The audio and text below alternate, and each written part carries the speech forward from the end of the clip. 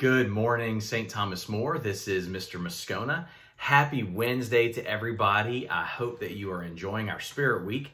Uh, today is Wacky Hair Day. So as you can see, Mr. Moscona has his wacky hair uh, on full display.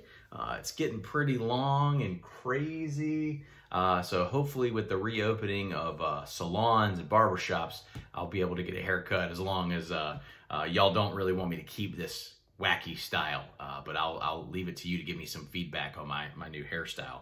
Uh, thanks for everybody uh, displaying their talents yesterday. We had a wonderful display of student talent online on social media. It was great to see that. Our teachers also put together a wonderful variety show. If you haven't seen that yet, please check it out. You can view it on our St. Thomas More YouTube page or on our Facebook page.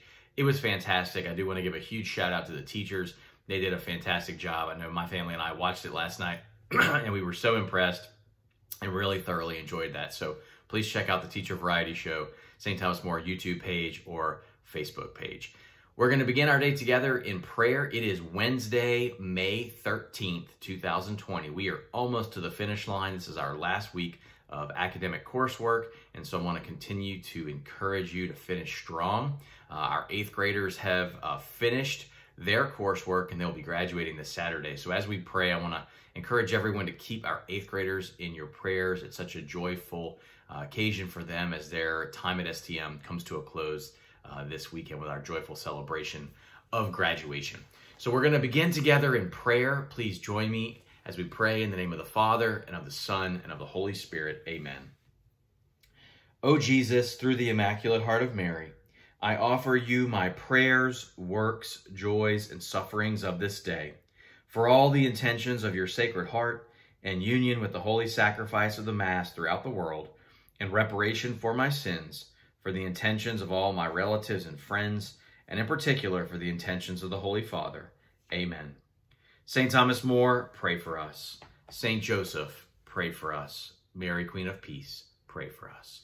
In the name of the Father, and of the Son, and of the Holy Spirit. Amen.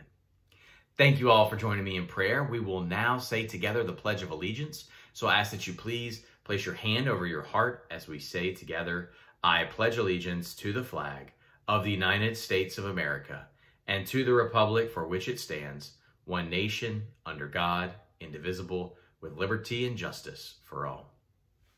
Thank you all so much. We don't have any birthdays to celebrate today, uh, so I just want to encourage you to keep working hard. Uh, we have some fun tomorrow and Friday as we wrap up our Spirit Week, so uh, stay tuned for that. If you have great pictures today of your wacky hairstyles, please post those on social media. We'd love to see it. Uh, we miss you all so much. Be assured of my continued prayers for you, and I really look forward to seeing you all as soon as possible. May God bless you all and have a wonderful Wednesday.